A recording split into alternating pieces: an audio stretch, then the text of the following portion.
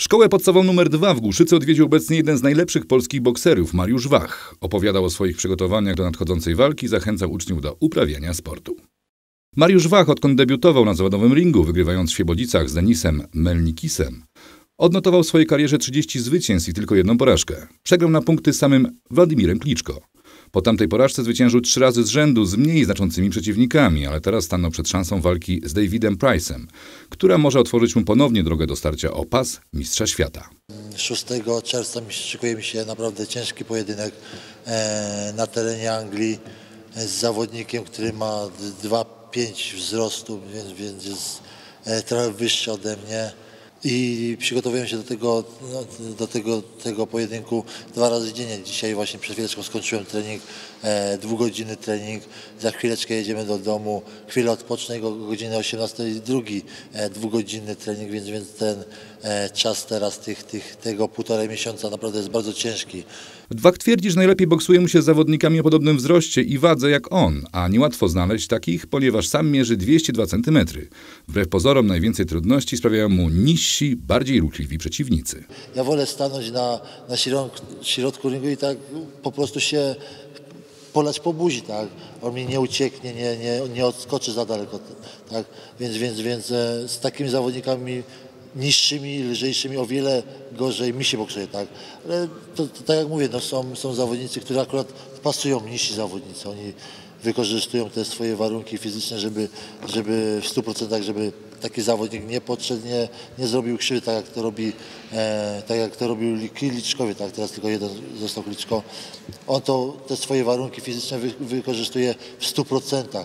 On y, nie, nie, nie pozwala, nie dopuszcza do, do siebie żadnych zawodników, a jak któryś dojdzie do niego, to po prostu umiejętnie klinczuje i, i unika jakichś mocnych, mocnych ciosów. Pięściarz twierdzi, że walka z Władimirem Kliczko, choć przegrał na punkty, pozwoliła mu stać się jeszcze lepszym bokserem, ponieważ kluczową rolę w tym sporcie oprócz warunków fizycznych odgrywa też podejście psychologiczne. Po tamtym pojedynku stał się pewniejszy siebie, dlatego teraz odważnie zmierza po kolejne trofea. Jestem o wiele mocniejszym psychicznie zawodnikiem. E, po tej, po tej, po tej walce e, byłem, byłem na sparingach u, u mistrzów świata Powietkina, e, Czysory, Pulewa. I te sparingi naprawdę wyglądały bardzo dobrze. No, byli pod, pod wrażeniem ci, ci promotorzy, menadżerowie, którzy przychodzili na te sparingi i takie, takie, takie walki o Mistrzostwo Świata z naprawdę dobrymi zawodnikami e, muszą tylko wzmacniać, tak? Nie ma co się, co się załamywać.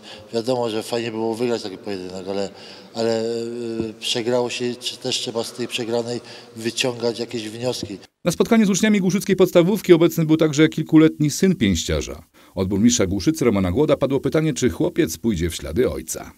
Ma dopiero 5 lat, tak, więc, więc mi to ciężko, ciężko powiedzieć, co, co będzie robił. Wolałbym, żeby został na przykład lekarzem czy prawnikiem, gdzie by, gdzie by zarabiał na tatę później, tak. Ja zacząłem e, boks bardzo późno, ja miałem e, 20 lat, jak, jak e, pierwsze pojedynki bokserskie toczyłem, więc, więc, więc on jeszcze każdy z Was jeszcze ma dużo czasu przed sobą, żeby, żeby pomyśleć, co, co, co, co robić w życiu, tak, więc, więc ja na siłę nikogo nie będę zmuszał, tak, będzie chciał trenować e, boks, będzie chciał jakąś jedną dyscyplinę, na pewno mu w tym pomogę. Obecny na spotkaniu Roman Schmidt, utytułowany zawodnik, a obecnie trener boksu, zapowiedział, że być może uda się stworzyć w Głuszycy sekcję bokserską, aby młodzi ludzie mogli pod okiem fachowców trenować ten sport, a przede wszystkim zająć się czymś lepszym niż siedzenie w domu przed komputerami.